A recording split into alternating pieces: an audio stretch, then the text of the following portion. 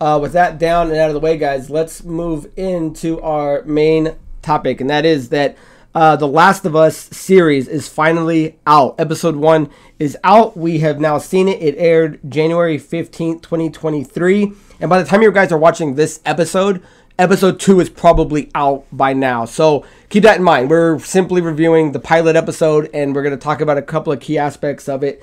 Um, overall, got great reviews. It's got a 99% on Rotten Tomatoes, 9.4 on IMDb. 95% of people that watched it um, liked it. And of course, this is HBO show. And the main article that I'm pulling from Collider is stating that The Last of Us premiere scores HBO's second largest debut in over a decade. Uh, the series is second only to the House of Dragons debut. So let me read this real quick just so you can kind of put in context of how high it was being watched. So this says. Uh, video game fans and HBO will both be heaving a sigh of relief this week for different reasons. While the hugely anticipated series The Last of Us has been almost unanimously declared as the best video game adaptation of all time, not a high bar to cross, but still, it also drew phenomenal numbers for the premium television network. Based on Nielsen and first party data, Sunday's series premiere was watched by 4.7 million viewers across linear and HBO Max platforms.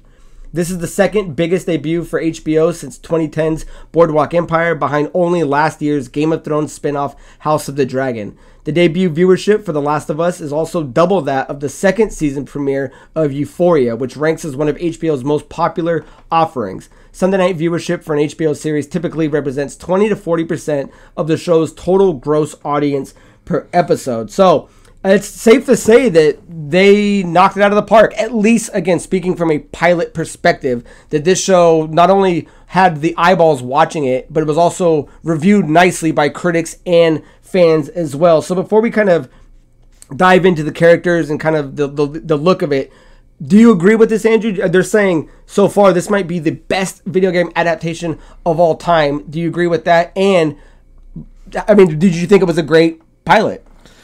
Yeah, I think it would have been hard for them to actually mess this up. One because when you're watching the original game, it, it like uh, when you're watching all the cutscenes and everything, it almost plays out like Yeah. a movie. So you could just almost make it like one for one and be like, "Here's the guide on how to do it. Just put it on TV, and it will play out perfectly." But with how close they were working with, um, I, I can't think of his Neil name, Druckmann Neil and Druckmann, Craig and stuff like that. I'm sure that they really were like, okay, like let's not do what other people are doing. We're like, well, we're just gonna take the name and we're just gonna fuck off everything else, and we're gonna use the name and like that's it. Like, no, we're gonna take the name based on the game's sake, and you know, just not a one for one adaptation, but, But stick to, something the, stick, stick to the source material. stick to the source material while still creating something that feels fresh, and they absolutely nailed it. So, but best video game adaptation of all time, or would you still put like? Because I think they underrate things like that are animated as well. Because I love the Castlevania stuff, but I mean, Yeah, I yeah, if we're talking live action, then for sure. as long as this thing ends strong as it began, right? Because there's nine Right. episodes, it could easily fall off the map. Say episode three, four, five, six. But if it can stay strong, then this thing definitely, I would say, has a chance to be on the Rushmore of, uh, of video game adaptations if it stays as, as positive as it's been since episode one. Yeah, for sure. But uh, yeah, I I would agree with their statement as far as you include that word live action. Right. So, um, so again, I love the opening. So let's start getting into what the show is about. Um, obviously, that the uh, the synopsis is Joel and Ellie, a pair connected through a harshness of the world they live in, are forced to endure brutal circumstances and ruthless killers on a trek across. And I kind of dived out there, so I don't know if there was more to that there, but uh, the opening of this was awesome. It, kind of takes this old. Uh, these couple guys sitting. It's like the late '60s. Five minutes of talking Oh, I love about that. this kind of possibility that if fungus and or more p- particular fungi were to have to evolve and they kind of go into this explanation of how it already does this in things like ants and it, they they have this awesome explanation and it kind of has uh, good body artist from Spartacus Yeah. John Hannah and it's got um, Big Head from Silicon Valley played by Josh Brener it's a it's about I think it's like a five minute opening and I got to say it set up it perfectly there was Perfect no exposition, yeah the yes. exposition for this was on point point. It instantly in that conversation and it was cool because it was it was kind of told through the scientific and then kind of the the unknown uh, the unknowing and when you kind of see it it's kind of bone chilling because at the end because he's kind of being a smartass in the beginning the um the host but at the end when he's kind of telling them is like all it takes is this and we're and we lose i was like man that's that's a pretty powerful intro that just kind of set the tone for the rest of the episode Yeah, for sure. Especially too, because the way the conversation ends when he's like, "Well, you know, these other things. Here's what you can do. Here's what you can't do." But yeah, he says, "Let's say the temperature of the Earth rises, which is like a you know global warming thing." Causing something like that to adapt, then what? Well, what can we do? Nothing. There's nothing we can do. Yeah, it's game like- over. yeah, there's there- no way to stop it. We haven't made cures for this. There's no way to make cures for this. There's no way to prevent it. It's if global warming happens, then this thing will naturally have to evolve. And yeah, when he's like, he's like, then what happens? Like, we lose. I was like, damn. That's, Yeah, no, it was really good. I Yeah. love that. So then it jumps forward um, in time to I think it was was it present day. I kind of figured if they were doing it 2020 or something. I, I'd have to double check, but um, it gets into I want to talk about the look and the aesthetic of the world that they've created. So they make this place look. I mean. I mean, assuming when we do the time jump again, it I think looks it's real. like 2002 or something because then it jumps again. Right, right. When it does it, so yeah, they do a really good job at making the world look real, uh, dirty, depressing, like this dystopian post um, like pandemic era. When you kind of get later in the episode, but I got to say, and Andrew, you kind of hinted at it earlier, was you got to give uh, you know the showrunner Neil Druckmann. I don't know who's the showrunner, but the creator of it. Um, the fact that he was so hands on, you can see it. You can stick that they're sticking to that source material. And Craig Mazin, who, um, if you guys aren't familiar with him, uh, he was the showrunner for the show uh, Chernobyl, which was fantastic. And if you've ever seen that, it's a perfect kind of, uh, if you were to kind of compare them, like that dark, dirty, gritty world that they've kind of taken and then now put into um, The Last of Us. And I got to say, it I think it takes two halves of that coin for them to do it. One to know the source material, treat it right, treat it properly, make tell the right story, and then someone else to actually paint the picture of it. Because looking at it, I mean, obviously we've only seen episode one, but the trailer kind of shows more about where they're going. And if you're going to compare that to the video games, which looked awesome and they've remade three times, then the show has to at least kind of kind of match that. And I think they did a really good job doing that.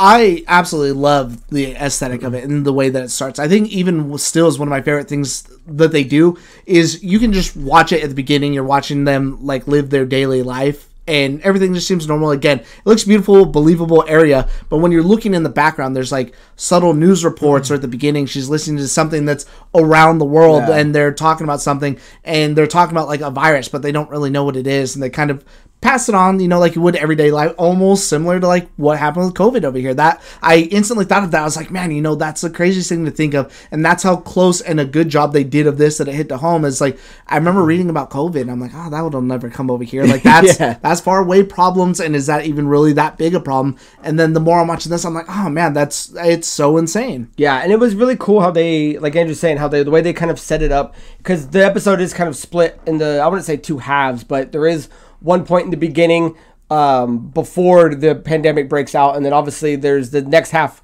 which is like 20 years later, and uh, it did a really great job in kind of that easy transition.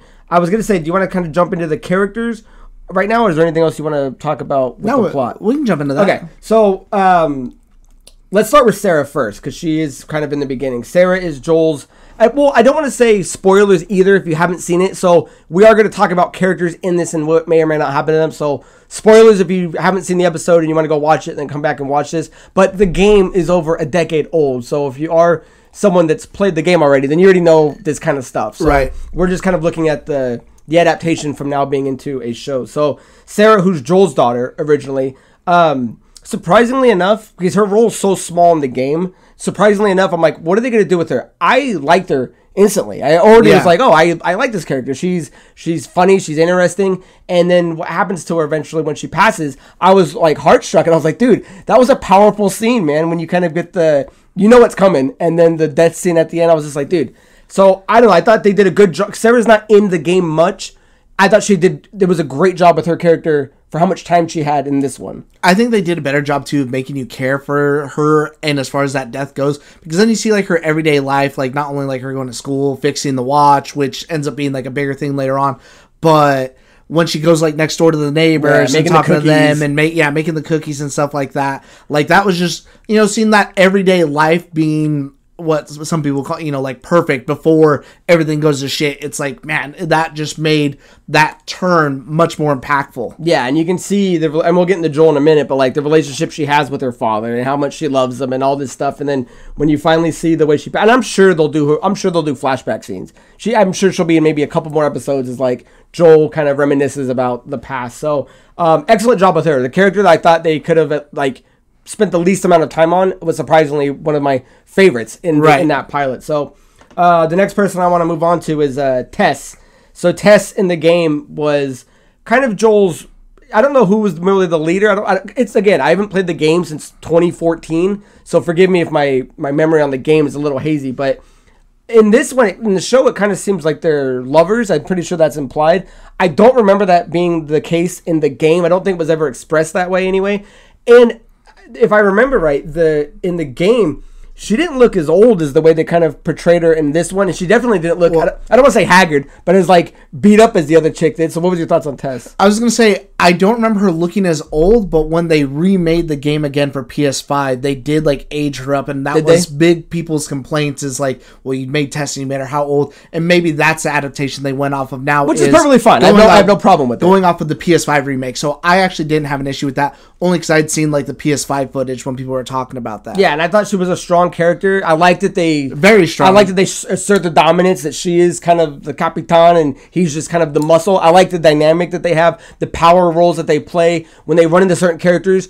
Everyone knows Tess and Joel at this point. They are an established figure in this in the city that they're living in. Which at this point now we're knowing that this city's ran by I wouldn't I don't say it's a government. It's more like like this army or that's kind of going Yeah. on. And um, They do a really good job of really making it feel like because in the first one you kind of see the army and you see them executing people, but you're kind of just almost like passing through a little bit. Right. When you're watching this, you feel it a lot more like how he's making the secret shades with the guards, but not only they're hunting people down, or even so, she just happened to be on the street when the fighting started, and they like take her anyways, and she ends up in like lockup. So you really feel their presence a lot more as far as their control in the city than I think what you really see in the game in the first one. Yeah. Um, I'm trying to think. What is it called when that happens? Like, uh, when do the military Yeah, when they occupation? do military lockdowns. Oh, it's um, martial law. Martial law. Yeah, you can definitely it. Like that's the kind of environment that they're living in. So, um, moving on to the next person who you know we know is going to have a bigger role is Marlene, who is the leader of her section of the of the Fireflies. I thought she was pretty spot on. My memory of her sure, from the yeah. game, I would say if you're if you're going to do a one to one comparison from anybody from the show to the game, I thought she was probably the most spot on character that we've got to meet. I liked her tenacity. I liked her goal. I liked that she again when they run into Joel, they know each other. You can tell that there's there's a background between them. Um, I know. I thought she did a great job, and I, I I can't wait to see more of her. I actually liked her the best. I think. Yeah, I like too that she's also I, again another strong person because when that chick's trying to question her, she like orders everyone out of the room. Yeah. She's like you know what you need to know because I'm telling you what you need to Yeah, know. she was definitely a, a strong authority figure. Uh, anything else on Marlene? Nah, Um, the next one I wanted to see, eh, I don't think there's much to say, is we get to meet Tommy in the beginning with uh, Joel's brother, who was a badass in the beginning. and he had, he had his Yeah. shit and he played his part. Obviously, we now know that he's being he's lost somewhere, and the whole goal of this is Joel wants to get out of out of the town so he can go find his brother. So I don't think there's much to say on Tommy because we've only seen him for about maybe a minute and a half collected time. So, but I like I like the actor. I think it's Gabriel Luna. Um, I do like him. So when we see more of him, I'm sure it'll be great. which I think that's one of the changes they make. In the original, I think he's just not talking to Tommy, or they hadn't talked in a while. Whereas in this one, he's actively looking for him and trying to send out like a signal through like the music and stuff Which like was that. dope, yeah. So I was like, okay, you know, I you are seeing when you're watching this, you're seeing some of the subtle changes that they're making to kind of keep it fresh, and it still plays out like you know the story the same, or if anything, maybe makes it slightly better. Yeah, and I can't wait to see what they do with that. So um, now we get to get into our two big players. Obviously, let's go Ellie. Um, clearly, this is a new incarnation of Ellie. I don't think obviously there's traits of the game version in this version, but I can totally if- my memory serves, this is a whole different personality for her. Not I mean, she is funny and when she does like the countdown and says fuck you, but um there's just a different um I think just a different kind of personality there. I like um, Ellie Williams. I'm still not sure if I would have went with someone that didn't kind of more look like Ellie. with But how the- close everyone else looks. with how yeah. close everyone else looked. But the moment she started on screen, I was instantly like, okay, this will work for me. And I think that was a lot of people's biggest hesitation is um, because Joel Pedro Pascal looks like Joel. I think a lot of people are having an issue with Ellie. Once I got her flavor of how she's going to be acting, I was like, I can I can move on with it, and I think she's great.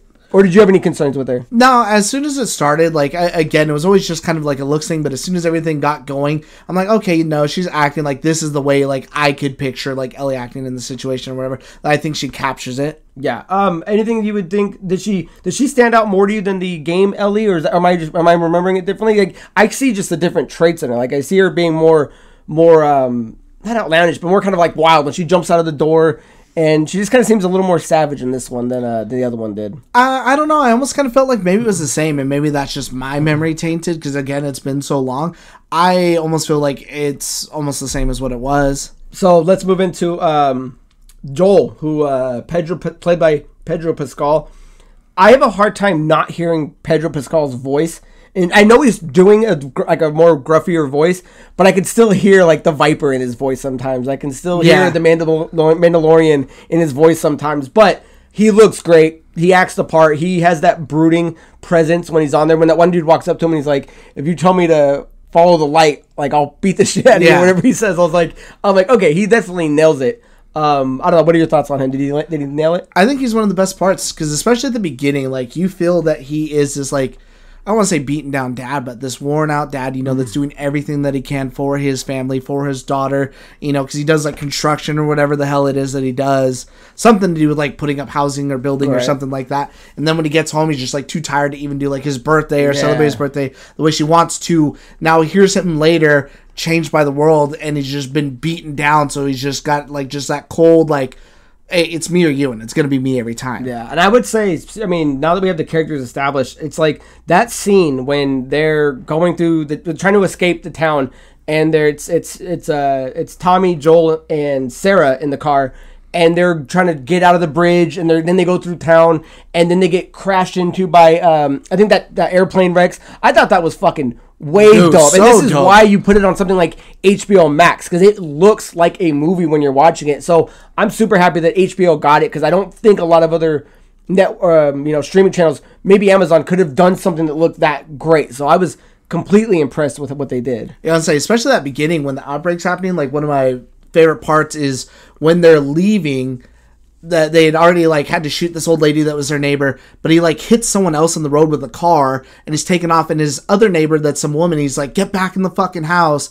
And he's leaving. She's like, "Joel, what are you doing?" And you see her out in the street, but then you see the person get up and fucking attack her, and so it's like very like Dawn of the Dead. I'm like, man, this is just so good. Like this is a really good pre like showing that initial outbreak. They did such a good job of that. Yeah, and we've yet to see the bigger zombies. So it's they did a nice job showing us in an oversaturated zombie-filled world where we live with every show's got zombies, every movie. It doesn't feel like zombies. Yeah, I was gonna say they're doing a pretty interesting job to instantly hook me, and uh, I think they've got a winner on their hands. So before we go into overall stuff, is there anything else you want to add on about the looks and all that? Actually, I did want to say I, I kind of want to go into the infected a little bit Yeah. more. They are scary, especially when you see that old lady. That lady, dude, when she starts shit. like, yeah, opening up her mouth, and it's and now that they're they have that thing That's coming out of the It's mouth, like yeah. weird. It's not like spores, but it's almost like something plant-like. So instead of them mm-hmm. just biting you, it's almost like they bite you, and maybe that goes in your skin, and that's how that spreads through the infection. It's like okay, that's really cool. Like that's another step more into like how they're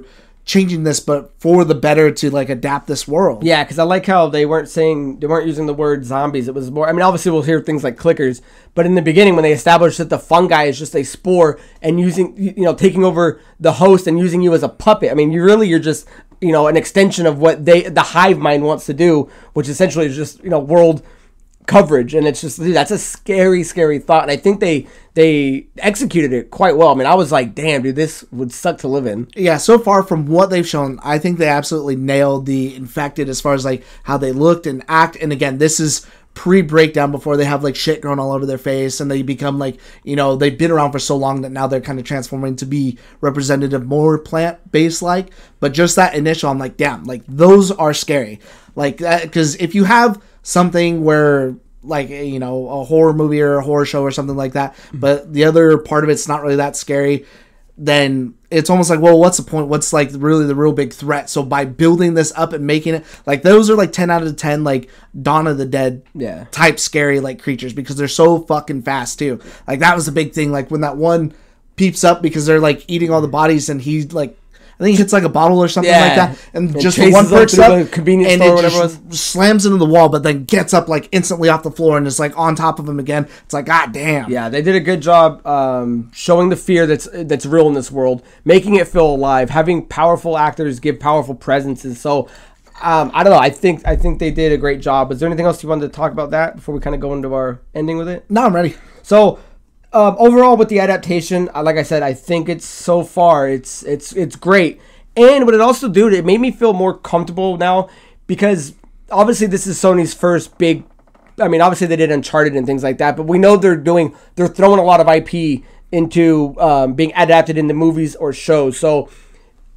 Uncharted was hit or miss for a lot of people. I liked it. I liked it. I think this kind of shows that if you're going to do these, because when you think about movie like games, Uncharted is definitely one of them. But that that's not necessarily you don't need to make a movie out of it. I think this is showing that you need the TV aspect of it. I, I forget if Horizon is going to be a show, but I'm pretty sure the God of War version that they're talking about Twisted Metal. is a show. So it's like I have a better understanding now if this is the way they're going to do it. The only thing that's unfortunate is they're not you're not going to have a Neil Druckmann and a Craig Mazin on At all the helm, on all these projects. So this might just be the diamond in the rough out of all of them. But if they're going to have this much attention to the other projects, then I'm a little more comfortable moving forward. Are you?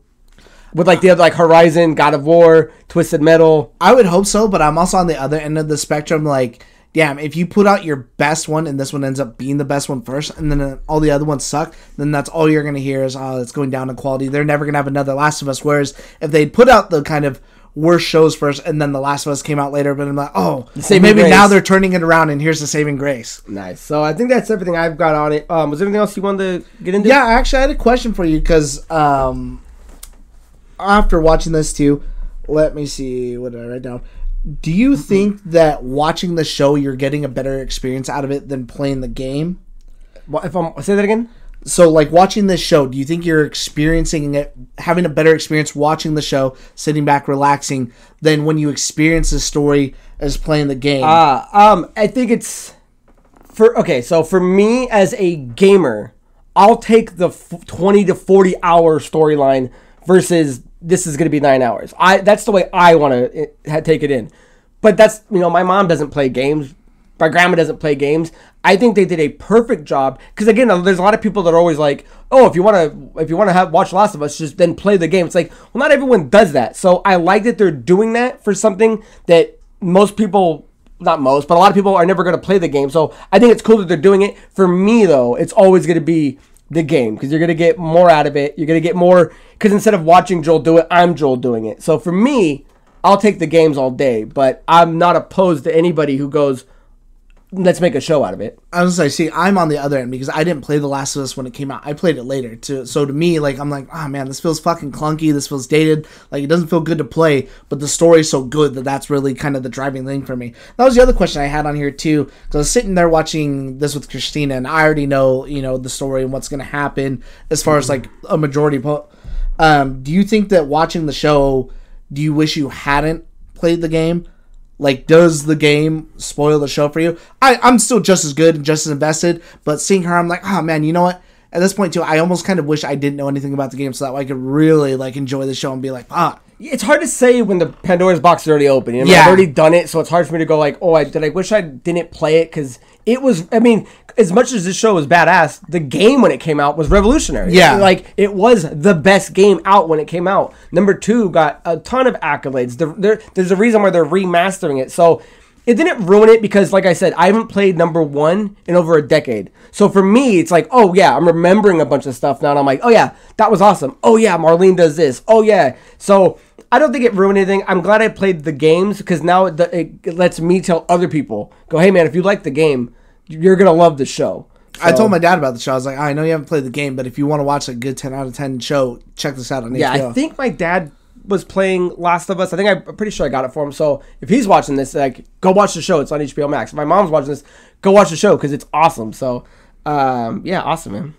Is that everything? Yeah, yeah, those are just my two. Cool, guys. So that is um, our main topic. Let us know if you guys watched it, if you guys enjoyed the show. Let us know your thoughts. Maybe we missed something. Maybe we didn't cover anything. As it goes on week by week, I'm sure somebody will write in a question. Maybe we can kind of talk about it as we go, or do, maybe we'll do something separate with it. So uh, leave your thoughts down below, guys. So.